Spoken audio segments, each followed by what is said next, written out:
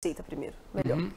Eu acho que a receita, ela realmente, o que, eu acho que eles poderiam pagar melhor. Eu não, não acho justo.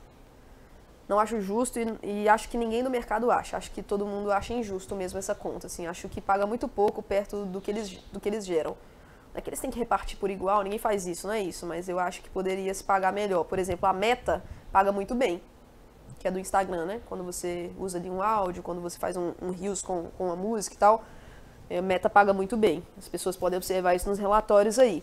E o TikTok eu já acho que, que não, tem uma, não, não traz essa receita tão legal. Óbvio que em quantidade, muitas vezes, para determinados gêneros musicais como o funk, o TikTok representou em alguns momentos ali para alguns artistas uma segunda posição, assim, de maior receita, mas aí tem muito mais a ver com volume. E isso pagando não tão bem. Imagina se pagasse bem. Então, pô, tinha arrasado ali de faturamento esses artistas.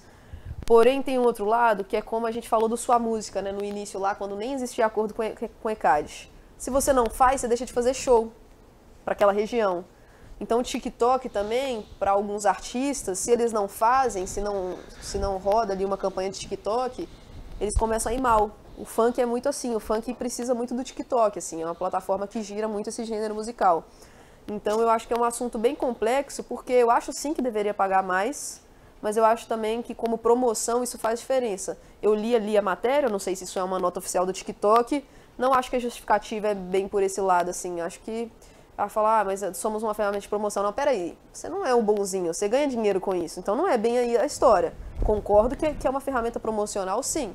Mas concordo também com a Universal que é desleal, é injusto, poderia pagar muito mais, entendeu? Então, assim, como, como uma pessoa que trabalha com artistas, eu sinto, né? Eu preciso dessa música lá no TikTok para fazer alguns trabalhos.